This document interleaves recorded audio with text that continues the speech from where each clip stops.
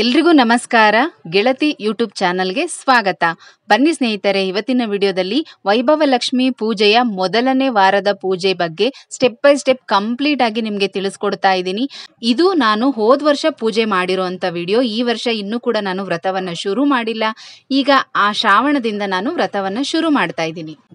ಆಷಾಢ, ಶ್ರಾವಣ, ಕಾರ್ತಿಕ ಮಾಸ ಮತ್ತು ಮಾಘ ಮಾಸದಲ್ಲಿ ಯಾವಾಗ ಬೇಕಾದರೂ ನೀವು ಶುರು ಮಾಡ್ಬೋದು. ವೈಭವ ಲಕ್ಷ್ಮಿ ಪೂಜೆಯನ್ನ ಮೊದಲನೇ ಸಲ ಶುರು ಮಾಡ್ತಾ ಇರೋರು ಎಂಟು ವಾರ ಮಾಡಲೇಬೇಕು.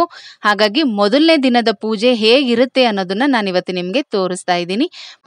ನಾವು ಮೊದಲು ಯಾವ ದಿನ ವ್ರತ ಶುರು ಮಾಡ್ತಾ ಇದ್ದೀವಿ ಅಂತ ತಿಳ್ಕೊಂಡು ಹಿಂದಿನ ದಿನ ಗುರುವಾರ ಪೂಜೆ ಸಾಮಾನೆಲ್ಲ ಕ್ಲೀನ್ ಮಾಡಿ ಇಟ್ಕೊಳ್ಬೇಕು, ದೇವ್ರ ಮನೆ ಎಲ್ಲನೂ ಕೂಡ ಕ್ಲೀನ್ ಮಾಡಿ ಇಟ್ಕೊಳ್ಬೇಕು. ಇದು ಪ್ರತಿ ವಾರನೂ ಕೂಡ ಪೂಜಾ ಸಾಮಾನೆಲ್ಲ ತೊಳೆದು ಆಮೇಲೆ ಸಂಜೆ ನಾವು ಪೂಜೆ ಮಾಡ್ಕೊಳ್ಬೇಕು ವೈಭವ ಲಕ್ಷ್ಮಿ ಪೂಜೆನ ಮಾಡ್ಕೊಳ್ಬೇಕು. ಮೊದಲನೇ ವಾರ ನೋಡಿ ಏನೆಲ್ಲ ಸಿದ್ಧತೆ ಮಾಡ್ಕೊಳ್ಬೇಕು ಅಂತ ತಿಳಿಸ್ತಾ ಇದ್ದೀನಿ. ಮೊದಲು ಬುಕ್ಕು ರೆಡಿ ಮಾಡಿ ಇಟ್ಕೋಬೇಕು ಅದ್ರ ಜೊತೆಗೆ ಕನಕದಾರ ಸ್ತೋತ್ರ ಬುಕ್ಕು ಕೂಡ ನಿಮ್ಮ ಹತ್ರ ಇದ್ರೆ ಇಟ್ಕೊಳ್ಳಿ. ಮತ್ತೆ ಪೂಜೆಗೆ ಅಂತ ಹೂಗಳು, ಸ್ವಲ್ಪ ಬಿಡಿ ಹೂಗಳು, ಪತ್ರೆಗಳು ಬಿಲ್ಪತ್ರೆ ಕಾಮಕಸ್ತೂರಿ ಎಲೆ, ಮತ್ತೆ ಮರುಗ, ದವನ, ತುಳಸಿ ದಳ, ಈ ರೀತಿ ಒಳ್ಳೆ ಸುವಾಸನೆ ಭರಿತವಾದಂಥ ಪತ್ರೆಗಳು ಯಾವ್ದ್ಯಾವ್ದು ಸಿಗುತ್ತೋ ಅದನ್ನೆಲ್ಲ ತಗೊಳ್ಳಿ. ಮತ್ತೆ ಮೊದಲನೇ ವಾರ ಪೂಜೆ ತುಂಬ ವಿಶೇಷ ಇರುತ್ತೆ. ಹಾಗಾಗಿ ಮೊದಲನೇ ವಾರಕ್ಕೆ ಇದನ್ನೆಲ್ಲನೂ ಕೂಡ ರೆಡಿ ಮಾಡಿ ಇಟ್ಕೊಂಡು ಚೆನ್ನಾಗಿ ಪೂಜೆ ಮಾಡ್ಕೊಳ್ಳಿ. ಬಿಲ್ಪತ್ರೆ ಮತ್ತೆ ಗಣಗ್ಲೆ ಹೂವು, ಆದಷ್ಟು ಕೆಂಪು ಬಣ್ಣದ ಹೂಗಳನ್ನ ತಗೊಳ್ಳಿ. ಕೆಂಪು, ರೆಡ್ ರೋಸ್ ಆಗಿರ್ಬೋದು, ಗಣಗಿಲೆ ಹೂವು ಆಗಿರ್ಬೋದು, ಕನಕಾಂಬರ, ಮತ್ತೆ ಮಲ್ಲಿಗೆ ಹೂವು ಜಾಜಿ ಹೂವು ಸಂಪಿಗೆ ಹೂವು, ತಾವರೆ ಹೂವು ಸಿಕ್ಕಿದ್ರಂತೂ ಇನ್ನೂ ಒಳ್ಳೇದೇನೆ. ನನಗೆ ಅವತ್ತು ತಾವರೆ ಹೂ ಸಿಕ್ಕಿರ್ಲಿಲ್ಲ, ಹಾಗಾಗಿ ನಮ್ ಗಿಡದಲ್ಲೇ ಬಿಟ್ಟಿದಂತ ಕೆಂಪು ದಾಸವಾಳನ ನಾನು ಪೂಜೆಗೆ ಉಪಯೋಗಿಸ್ತಾ ಇದ್ದೀನಿ. ದಾಸವಾಳನ ಮಂದಾರ ಪುಷ್ಪ ಅಂತ ಕೂಡ ಕರೀತಾರೆ. ಕಳಸಕ್ಕಿಡೋದು ತುಂಬಾನೇ ಒಳ್ಳೇದು, ಸ್ನೇಹಿತರೆ. ಮತ್ತಿಲ್ಲಿ ಸ್ಟವ್ ಕೂಡ ಪೂಜೆ ಮಾಡ್ಕೋಬೇಕು. ಈ ರೀತಿ ನೈವೇದ್ಯ ಮಾಡೋದಕ್ಕಾಗಿ ಸ್ಟವ್ನು ಚೆನ್ನಾಗಿ ಒರೆಸಿ, ರಂಗೋಲಿ ಅರಿಶಿನ ಕುಂಕುಮ, ಹೂವು ಎಲ್ಲಾನು ಇಟ್ಟು ಪೂಜೆ ಮಾಡಿಕೊಂಡು ಆಮೇಲೆ ನಾವು ನೈವೇದ್ಯಕ್ಕೆ ರೆಡಿ ಮಾಡ್ಕೊಳ್ಬೇಕು. ನಾನು ಈ ರೀತಿನೇ ಮಾಡೋದು ಯಾವಾಗಲೂ ಅಷ್ಟೇ. ನೈವೇದ್ಯಕ್ಕೆ ನೋಡಿ ಸಜ್ಜಿಗೆ ಮಾಡಿದ್ದೀನಿ. ಅದ್ರ ಜೊತೆಗೆ ಸ್ವಲ್ಪ ಕೋಸಂಬರಿ ಮತ್ತೆ ಒಂದು ಸ್ವಲ್ಪ ಡ್ರೈ ಫ್ರೂಟ್ಸನ್ನು ಇಡ್ತಾ ಇದ್ದೀನಿ. ಕೆಂಪು ಕಲ್ ಸಕ್ಕರೆ ಮತ್ತೆ ಸ್ವಲ್ಪ ಡ್ರೈ ಫ್ರೂಟ್ಸನ್ನು ಇಟ್ಟಿದ್ದೀನಿ. ಈ ರೀತಿ ನೈವೇದ್ಯ ಮಾಡ್ಕೊಳ್ಬೇಕು. ಪ್ರತಿ ವಾರ ಯಾವುದಾದ್ರೂ ಒಂದೊಂದು ಸಿಹಿ ನೈವೇದ್ಯದ ಜೊತೆಗೆ ಒಂದು ಕೋಸಂಬರಿನೂ ಕೂಡ ಮಾಡಬೇಕು. ಈಗ ಪೂಜೆಗೆ ಸಿದ್ಧತೆ ಮಾಡ್ಕೊಳ್ತಾ ಇದ್ದೀನಿ. ಕಳಸ ಇಡೋದಕ್ಕೆ ಅಂತ ಹೇಳಿ ಒಂದು ಪೀಠ ಹಾಕೊಂಡು ಯಾವುದಾದ್ರೂ ಯಾವ್ದಾದ್ರೂ ಮಣೆಗಳನ್ನ ಇಟ್ಕೊಳ್ಬೋದು, ಮಣೆ ಇಟ್ಟು ಅದ್ರ ಮೇಲೆ ರಂಗೋಲಿ ಅಂದ್ರೆ ಅಷ್ಟದಳ ಪದ್ಮವನ್ನ ಬರಿಬೇಕು. ಅದನ್ನ ಬರೆದು ಅರಿಶಿನ ಕುಂಕುಮ ಅಕ್ಷತೆಯನ್ನ ಹಾಕಿ ಆಮೇಲೆ ಕಳಸವನ್ನ ಸ್ಥಾಪನೆ ಮಾಡಬೇಕು. ನಾನಿಲ್ಲಿ ಮಹಾಲಕ್ಷ್ಮಿ ಯಂತ್ರವನ್ನ ಇಡ್ತಾ ಇದ್ದೀನಿ. ಇದು ಕೂಡ ಅಷ್ಟೇ ತುಂಬಾನೇ ಒಳ್ಳೇದು. ಈ ರೀತಿ ಮಹಾಲಕ್ಷ್ಮಿ ಯಂತ್ರದ ಮೇಲೆ ಕಳಸವನ್ನ ಇಡೋದು ತುಂಬಾನೇ ಒಳ್ಳೇದು ಸ್ನೇಹಿತರೆ. ಬೇಕಿದ್ರೆ ನೀವು ವರಮಹಾಲಕ್ಷ್ಮಿ ಹಬ್ಬದ ದಿವಸ ಕಳಸ ಇಡುವಾಗಲೂ ಅಷ್ಟೇ, ಅದ್ರ ಕೆಳಗಡೆ ಈ ರೀತಿ ಮಹಾಲಕ್ಷ್ಮಿ ಯಂತ್ರವನ್ನ ಇಟ್ಟು ಆಮೇಲೆ ಕಳಸವನ್ನ ಸ್ಥಾಪನೆ ಮಾಡಬಹುದು ಇದು ವೈಭವಲಕ್ಷ್ಮಿ ಬುಕ್ನಲ್ಲಿ ಮಧ್ಯದಲ್ಲಿ ಕೊಟ್ಟಿರ್ತಾರೆ ಮಹಾಲಕ್ಷ್ಮಿ ಯಂತ್ರ ಮತ್ತೆ ಒಂದು ಗಜಲಕ್ಷ್ಮಿ ಫೋಟೋವನ್ನ. ಹಾಗಾಗಿ ಒಂದು ಬುಕ್ನಲ್ಲಿ ಇರುವಂತ ಯಂತ್ರವನ್ನ ನಾನು ಈ ರೀತಿ ಇಟ್ಟಿದ್ದೀನಿ. ಒಂದು ತಾಮ್ರದ ಬಿಂದಿಗೆಯಲ್ಲಿ ನೀರನ್ನ ತುಂಬಿಸಿಟ್ಟು ಅದರೊಳಗೆ ಒಂದು ಸ್ವಲ್ಪ ಅರಿಶಿನ ಕುಂಕುಮ ಮತ್ತೆ ಬಿಲ್ಪತ್ರೆ ದಳಗಳು, ಒಂದು ಚೂರು ಕೆಂಪು ಹೂವು ಇದಿಷ್ಟನ್ನು ಹಾಕಿ ಗಂಗೆ ಪೂಜೆನ ಮಾಡ್ಕೊಳ್ಬೇಕು. ಗಂಗೆ ಪೂಜೆಯ ಮಂತ್ರನ ಹೇಳ್ಕೊಂಡು ಗಂಗೆ ಪೂಜೆನ ಮಾಡ್ಕೊಂಡು ಆಮೇಲೆ ಅದಕ್ಕೆ ವಿಳ್ಳೆದೆಲೆ ಅಥವಾ ಮಾವಿನ ಎಲೆಯನ್ನ ಇಟ್ಟು ಅದ್ರ ಮೇಲೆ ಒಂದು ಬಟ್ಲನ್ನ ಇಟ್ಕೋಬೇಕು. ಅದ್ರ ಒಳಗಡೆ ಈಗ ನಾನು ವಿಗ್ರಹಗಳು ಮತ್ತೆ ಒಡವೆ ಎಲ್ಲಾನು ಇಟ್ಟು ವೈಭವ ಲಕ್ಷ್ಮಿಯನ್ನ ಸ್ಥಾಪನೆ ಮಾಡ್ತೀನಿ.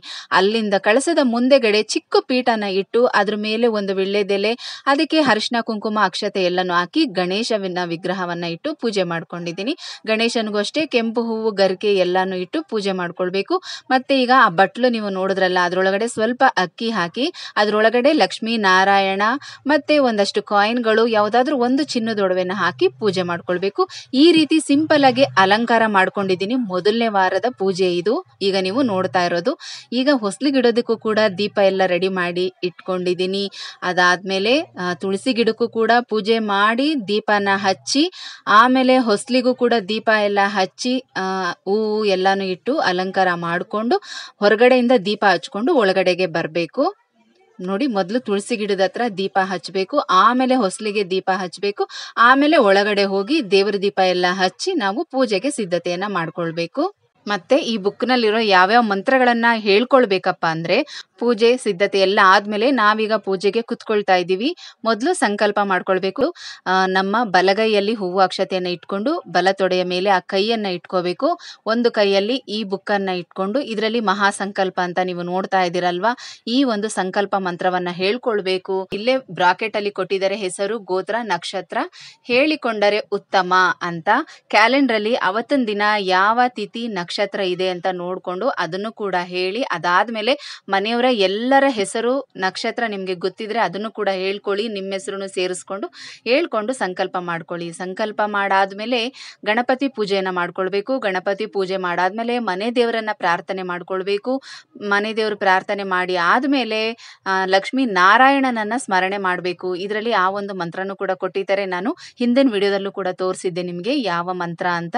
ಆ ಒಂದು ನಾರಾಯಣನ ದ್ವಾದಶ ನಾಮಗಳನ್ನು ಕೂಡ ಹೇಳ್ಕೊಂಡು ಪೂಜೆ ಮಾಡಿ ಹೂವು, ಅಕ್ಷತೆ ಎಲ್ಲ ಅರ್ಪಿಸಿ ಆಮೇಲೆ ಮಹಾಲಕ್ಷ್ಮಿಗೆ ಪೂಜೆನ ಮಾಡಬೇಕು, ವೈಭವ ಲಕ್ಷ್ಮಿಗೆ ಪೂಜೆನ ಮಾಡಬೇಕು.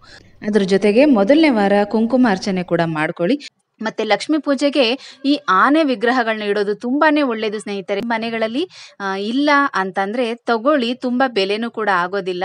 ಇದೇನು ಬೆಳ್ಳಿದು ಅಲ್ಲ ಇದು. ಮಾಮೂಲಿ ಸಿಲ್ವರ್ ಆನೆಗಳು ತುಂಬಾನೇ ಚೆನ್ನಾಗಿತ್ತು, ಮತ್ತೆ ಕಡಿಮೆ ರೇಟು ಕೂಡ. ಈ ಎರಡು ಆನೆಗಳಿಗೆ ಐನೂರು ರೂಪಾಯಿ ಆಗಿದೆ ಅಷ್ಟೇನೆ. ತುಂಬಾ ಪುಟ್ ಪುಟ್ಟದೇ ತಗೊಳ್ಳಿ, ತುಂಬಾ ದೊಡ್ಡದೆಲ್ಲ ತಗೋಬೇಕು ಅಂತ ಏನಿಲ್ಲ ನೀವು ಯಾವಾಗಲೇ ಲಕ್ಷ್ಮೀ ಪೂಜೆ ಮಾಡಿದ್ರು ಕಳಸದ ಅಕ್ಕಪಕ್ಕ ಇಡೋದು ತುಂಬಾ ಒಳ್ಳೇದು. ಅಷ್ಟೇ ಅಲ್ಲ, ತುಂಬಾನೇ ಹಣದ ಸಮಸ್ಯೆ ಇರೋರು ಮನೆಯಲ್ಲಿ ಗಜಲಕ್ಷ್ಮಿ ಫೋಟೋನ ಇಟ್ಟು ಪೂಜೆ ಮಾಡಬೇಕು ಅಂತ ಹೇಳ್ತಾರೆ. ಈಗ ಇಲ್ಲಿ ನೀವು ನೋಡ್ತಾ ಇದ್ದೀರಾ, ನಾನು ಯಾಕೆ ಪ್ರತಿ ಸಲ ಲಕ್ಷ್ಮೀ ನಾರಾಯಣನನ್ನ ಇಟ್ಟು ಪೂಜೆ ಮಾಡಬೇಕು ಅಂತ ಹೇಳ್ತೀನಿ ಅಂದ್ರೆ, ಗಂಡ ಹೆಂಡತಿಯನ್ನ ಜೊತೆಯಲ್ಲಿ ಇಟ್ಟು ನಾವು ಪೂಜೆ ಮಾಡಬೇಕು. ಲಕ್ಷ್ಮೀ ಪೂಜೆ ಅಂತ ಹೇಳಿ ಬರೀ ಲಕ್ಷ್ಮಿಗೆ ಮಾತ್ರ ಪೂಜೆ ಮಾಡಬಾರ್ದು. ಹಾಗಾಗಿ ಮನೆಗೆ ಇದು ತುಂಬಾನೇ ಒಳ್ಳೆಯದು ಲಕ್ಷ್ಮೀ ನಾರಾಯಣ ಇಬ್ರಿಗೂ ಕೂಡ ಪೂಜೆ ಮಾಡೋದು. ಮತ್ತೆ ಇನ್ನು ಸಾಮಾನ್ಯವಾಗಿ ಪ್ರತಿ ವಾರ ನೈವೇದ್ಯ ಮಾಡೋಕ್ಕಾಗಲ್ಲ ಅನ್ನೋರು ಒಂದು ಗ್ಲಾಸ್ ಹಾಲನ್ನ ಇಟ್ಟು, ದಾಳಿಂಬೆ ಹಣ್ಣಿದ್ರೆ ಅದನ್ನು ಕೂಡ ಬಿಡಿಸಿ ನೀವು ಇಟ್ಟು ನೈವೇದ್ಯ ಮಾಡ್ಬೋದು. ತುಂಬಾ ಒಳ್ಳೆಯದು ಅಷ್ಟೇ ಅಲ್ಲದೆ ಲಕ್ಷ್ಮೀ ಪೂಜೆಗೆ ಹೆಚ್ಚಾಗಿ ದಾಳಿಂಬೆ ಹಣ್ಣನ್ನು ನೈವೇದ್ಯ ಇಡೋದು ಕೂಡ ತುಂಬಾನೇ ಒಳ್ಳೆಯದು ದಾಡಿಮ ಕುಸುಮ ಪ್ರಿಯೆ ಅಂತ ಕೂಡ ನಾವು ಕೇಳಿದೀವಿ ಅಲ್ವಾ ಅಂದ್ರೆ, ಹಾಗಾಗಿ ದಾಳಿಂಬೆ ಹಣ್ಣು ಲಕ್ಷ್ಮಿಗೆ ತುಂಬಾ ಪ್ರಿಯವಾದ ಹಣ್ಣು. ಅದನ್ನು ಕೂಡ ನೈವೇದ್ಯ ಮಾಡ್ಬೋದು. ಮತ್ತೆ ಇಲ್ಲಿ ಒಂದು ಪೂರ್ಣ ಫಲ ಇಟ್ಟು ಫಸ್ಟ್ ಪೂಜೆ ಮಾಡಿದ್ದೀನಿ. ಆಮೇಲೆ ಪೂಜೆಗೆ ಆ ಕಾಯನ್ನು ಕೂಡ ನಾವು ಒಡೆದು ಪೂಜೆಗೆ ಇಟ್ಕೊಳ್ತೀವಿ. ಎಡಭಾಗದಲ್ಲಿ ಒಂದು ನಿಂಬೆ ಹಣ್ಣನ್ನು ಕೂಡ ಇಟ್ಟಿದ್ದೀನಿ. ಪೂಜೆಗೆ ಇಟ್ಟು ಪೂಜೆ ಎಲ್ಲ ಆದ್ಮೇಲೆ ಮಾರನೇ ದಿನ ಅದನ್ನು ತಗೊಂಡೋಗಿ ನಿಮ್ಮ ವ್ಯಾಪಾರ ಸ್ಥಳಗಳಲ್ಲಿ ಕ್ಯಾಶ್ ಬಾಕ್ಸ್ ಅಲ್ಲಾದ್ರೂ ಹಾಕೊಳ್ಬಹುದು ಈ ನಿಂಬೆ ಹಣ್ಣಿಂದ ಮನೆಗೆ ದೃಷ್ಟಿಯೆಲ್ಲ ತೆಗೆದು ಹೊಡಿಬೇಡಿ. ಇದು ಲಕ್ಷ್ಮೀ ಪೂಜೆಗೆ ಇಟ್ಟಿರೋದ್ರಿಂದ ಇದನ್ನ ಕ್ಯಾಶ್ ಬಾಕ್ಸ್ಗಳಲ್ಲಿ ನೀವು ಇಟ್ಕೊಳ್ಬಹುದು ಧನ ಆಕರ್ಷಣೆಗೋಸ್ಕರ. ಇಷ್ಟು ಪೂಜೆ ಆದ್ಮೇಲೆ ನೀವು ಅಕ್ಕಪಕ್ಕದಲ್ಲಿ ಒಂದಿಬ್ಬರು ಮುತ್ತೈದೆಯರನ್ನ ಕರೆದು ಕುಂಕುಮ ಕೊಟ್ಟು ಅವ್ರಿಗೆ ಲಕ್ಷತೆಯನ್ನ ಕೊಟ್ಟು ನೀವು ಅವ್ರ ಕಾಲ ನಮಸ್ಕಾರ ಮಾಡ್ಕೊಂಡು ಆಶೀರ್ವಾದ ತಗೊಳ್ಳಿ.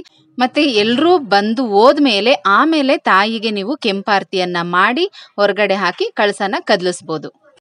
ಕದಲಿಸಿ ಆದ್ಮೇಲೆ ಒಂದು ಸ್ವಲ್ಪ ಹೊತ್ತು ಬಿಟ್ಟು ಅವತ್ತೇ ಕೂಡ ನೀವು ಇದನ್ನೆಲ್ಲ ವಿಸರ್ಜನೆ ಮಾಡ್ಬೋದು. ಎಲ್ಲಾನು ತೆಗೆದಿಟ್ಬಿಟ್ಟು ನೀವು ಬಟ್ಲಲ್ಲಿ ಏನಾದರೂ ದುಡ್ಡಿಟ್ಟಿದ್ರೆ ಅದನ್ನ ತೆಗೆದು ಕ್ಯಾಶ್ ಬಾಕ್ಸ್ ಅಲ್ಲಿ ಹಾಕೊಳ್ಳಿ. ಏನಾದ್ರೂ ಚಿನ್ನದ ಒಡವೆ ಇಟ್ಟಿದ್ರೆ ಅದನ್ನ ಒಂದ್ ಎರಡ್ ನಿಮಿಷ ನೀವು ಹಾಕೊಂಡು ಆಮೇಲೆ ತೆಗೆದಿಟ್ಕೊಳ್ಳಿ. ಇನ್ನಿದ್ರು ಕಳಸದ ನೀರನ್ನು ಅಷ್ಟೇ ತಗೊಂಡು ಮನೆಯೆಲ್ಲ ಪ್ರೋಕ್ಷಣೆ ಮಾಡ್ಕೊಳ್ಳಿ. ಉಳಿದಿರೋ ನೀರನ್ನ ಮಾರನೇ ದಿನ ನೀವು ಗಿಡಗಳಿಗೆ ಹಾಕಿ, ಯಾಕಂದ್ರೆ ಅವತ್ತೇನೆ ನೀರನ್ನು ಕೂಡ ಹೊರಗಡೆ ಹಾಕಕ್ ಹೋಗ್ಬಿಡಿ. ಅದನ್ನ ಹಾಗೆ ದೇವ್ರ ಮನೆಯಲ್ಲಿ ಇಟ್ಟು ಮಾರನೇ ದಿನ ಶನಿವಾರ ನೀವು ಗಿಡಕ್ಕೆಲ್ಲ ಹಾಕ್ಬೋದು ಆ ನೀರನ್ನ. ಇನ್ನು ನೈವೇದ್ಯನ ಎಲ್ಲರೂ ಕೂಡ ಪ್ರಸಾದದ ರೀತಿ ನೀವು ಮನೇಲಿ ಎಲ್ಲರೂ ಕೂಡ ತಗೊಳ್ಬೋದು. ಇದು ಮೊದಲನೇ ವಾರದ ಪೂಜೆ ಆಗಿರುತ್ತೆ ಸ್ನೇಹಿತರೆ. ಮೊದಲನೇ ವಾರ ಸರಿಯಾಗಿ ಕ್ರಮಬದ್ಧವಾಗಿ ನೀವು ಮಂತ್ರ, ಸ್ತೋತ್ರ ಎಲ್ಲನೂ ಕೂಡ ಹೇಳ್ಕೊಂಡು ಲಕ್ಷ್ಮಿಯ ಅಷ್ಟೋತ್ತರವನ್ನು ಕೂಡ ಮಾಡಿಕೊಂಡು ಪೂಜೆ ಮಾಡ್ಕೊಂಬಿಡಿ ಇದೇ ರೀತಿ ಏಳು ವಾರನೂ ಕೂಡ ಮಾಡಬೇಕಾಗತ್ತೆ. ಇನ್ನು ಕೊನೆ ವಾರ, ಎಂಟನೇ ವಾರದ ಪೂಜೆ ಹೇಗಿರುತ್ತೆ ಅಂದ್ರೆ ತುಂಬಾನೇ ವಿಶೇಷತೆ ಇರುತ್ತೆ ಸ್ನೇಹಿತರೆ. ನಾನು ಯಾವ ರೀತಿ ಎಲ್ಲ ಮಾಡ್ತೀನಿ ಅನ್ನೋದನ್ನ ಕಂಪ್ಲೀಟ್ ಆಗಿ ನಿಮ್ ಜೊತೆ ಶೇರ್ ಮಾಡ್ಕೊಳ್ತೀನಿ. ಇದೇ ವಿಡಿಯೋದಲ್ಲೇ ಮಾಡ್ಬೋದಾಗಿತ್ತು. ವಿಡಿಯೋ ತುಂಬಾನೇ ಲೆಂತಿ ಆಗುತ್ತೆ. ಹಾಗಾಗಿ ಕೊನೆ ವಾರದ ಪೂಜೆನ ಸಪ್ರೇಟಾಗಿ ಆಗಿ ನಿಮ್ ಜೊತೆಗೆ ಶೇರ್ ಮಾಡ್ಕೊಳ್ತೀನಿ. ನಾನು ಯಾವ ರೀತಿ ಎಲ್ಲ ಮಾಡ್ತಾ ಇದ್ದೀನಿ, ಮತ್ತೆ ಎಂಟನೇ ವಾರದ ಪೂಜೆ ನಾನು ಹೇಗೆ ಮಾಡ್ತೀನಿ ಅನ್ನೋದನ್ನ ಖಂಡಿತ ಮುಂದಿನ ವಿಡಿಯೋದಲ್ಲಿ ತಿಳಿಸ್ಕೊಡ್ತೀನಿ.